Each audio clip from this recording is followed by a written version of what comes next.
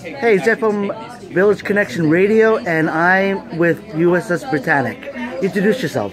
It is correct. I'm uh, Vice Admiral Wayne L. Augustin. I'm the commanding officer slash chapter president of USS Britannic. We're part of an organization called Starfleet, the International Star Trek Fan Association Incorporated, one of the largest Star Trek fan organizations that was founded in 1974.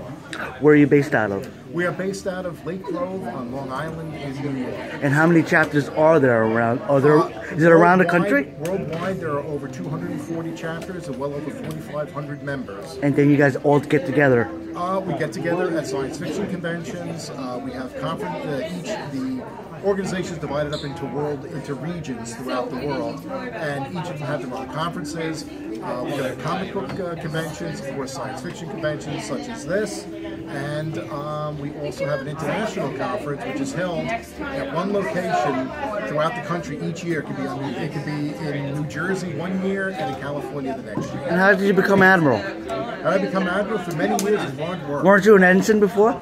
Uh, I actually entered the organization as a you know as an enlisted person, and I took uh, went to Starfleet Academy, where they teach you well they take courses on how to uh, run a chapter, and uh, I was an ensign, and just by running a chapter, I got promoted to captain, and then uh, I'm the regional coordinator for Region Seven, which consists of New York, New Jersey, Pennsylvania, Delaware, and Maryland, and of course the District of Columbia, and there you get a promotion there. So there are real responsibilities to the fictional rank. Do you have a Facebook page? Yes, we do. We uh, just uh, look for us at USS USS Britannic. Do you have a website? Yes, we do. We are found at www.ussbritannic.org. And if somebody wants to email all about your information, About all of our information, uh, you can visit us at uh,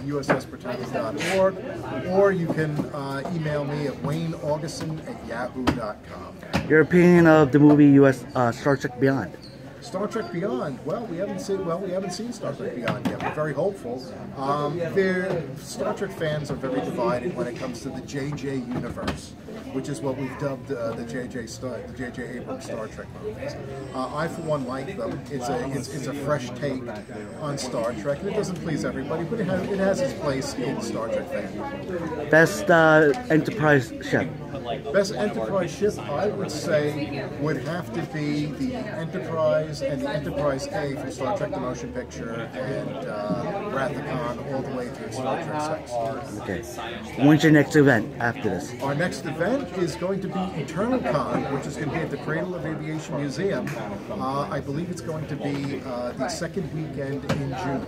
Okay. And of course, this year, all throughout the year, we're celebrating the 50th anniversary of Star Trek. Okay. Well, great to meet you. I got USS Britannic at the Long Island Geek Convention. Take care.